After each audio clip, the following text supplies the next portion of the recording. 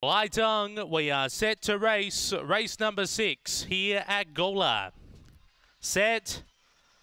On their journey, Victor Speed began well out wide. Speed from Fingers Whisper hunting up on the inside. Fingers Redeem, but Fingers Whisper gets over and leagues by a length and a quarter over Victor Speed, who copped a minor check. Railing up Fingers Redeem with O'Louise. Then we go back to Fingers Surprise. Razzle, Daryl, Spartan Brave, and Boom Boom Jinx off the back. It's Fingers Whisper by a length. Looming up on the outside, O'Louise. A length away, then Victor Speed winding home with Fingers Surprise. But it's O'Louise going to the top. O'Louise Louise too strong. Uh, second was either Victor Speed or Fingers Surprise in a very close go. Also there we had Fingers Whisper and Fingers Redeem in behind those. Then we go back to Spartan Brave, Razzle Daryl and Boom Boom Jinx. Time 30 and 91.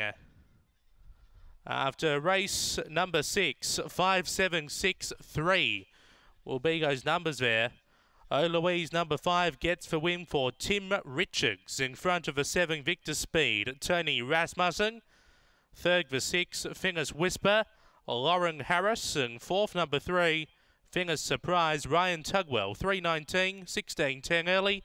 30 and 91. The time 5, 7, 6 and 3 are those numbers after race number 6 here at Gawler.